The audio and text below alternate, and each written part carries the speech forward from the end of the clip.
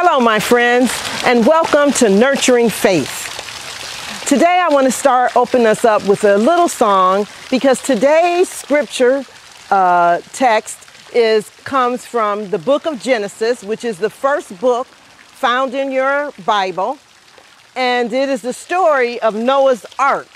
Uh, it's chapter 9, verses 8 to 17. So we're really kind of talking about God's promise and uh, the promise that God made to God's people after uh, he flooded the earth. But let's start with this little song. I know many of you learned the song, Are You Sleeping? Remember, Are You Sleeping? Are You Sleeping? Well, we're going to change the words a little bit, and it goes like this.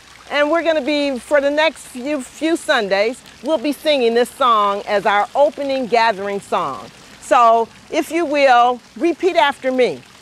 God is with us, God is with us every day, every day.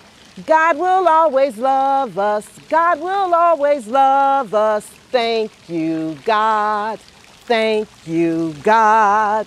Very good, that was good. So practice those words, listen to those because we're going to sing it once again. But let's jump right into our story. I'm out here in front of uh, what would be our sanctuary across the street. There's this fountain, which is right across the street from our sanctuary entrance. The sanctuary, that's another name for the church building as we enter it.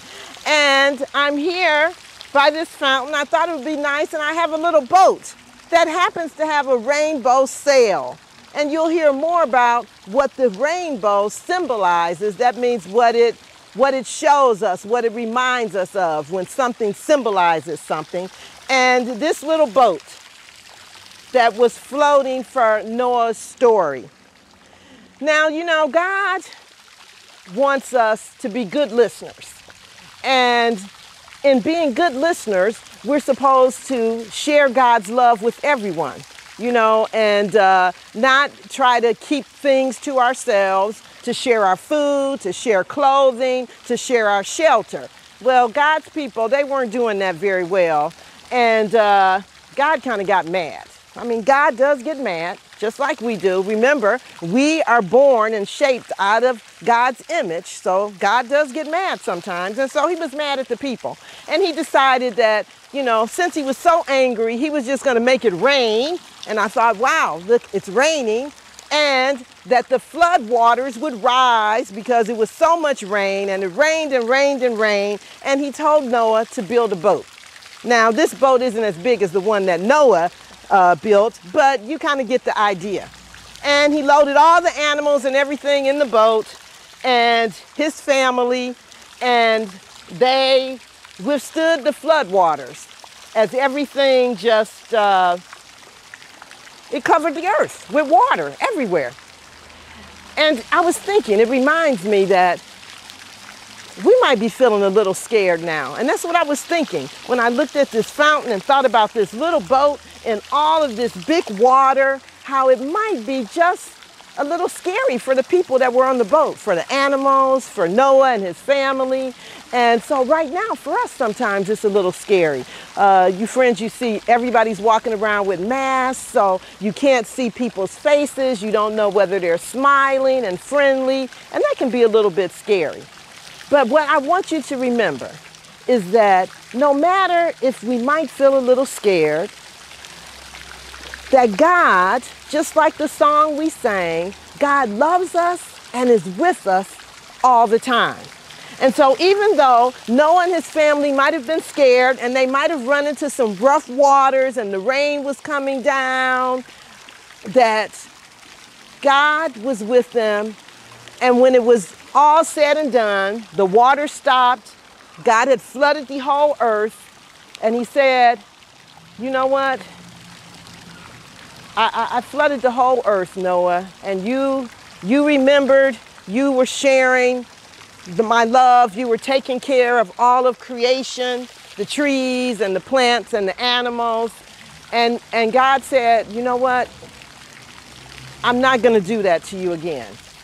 I'm not just going to be so angry that I'm just going to let the waters rise and just wipe out everything. So I make you this promise that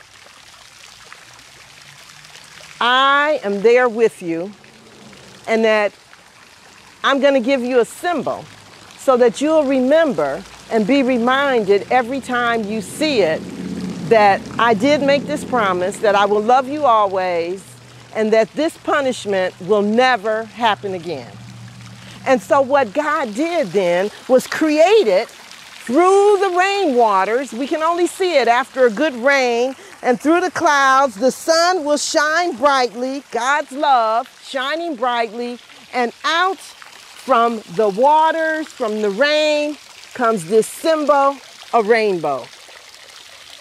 Friends, the rainbow, whenever I see it, I say, Yes, God, thank you. I remember your promise that you love us and that you want us to remember that you, each one of us, is loved by you, God, and each one of us should be loved by one another. We need to share that love, and that this rainbow is that reminder.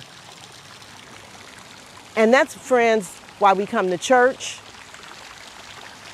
to remember and to hear the story of God's love and the struggles of God's people. That's you and me.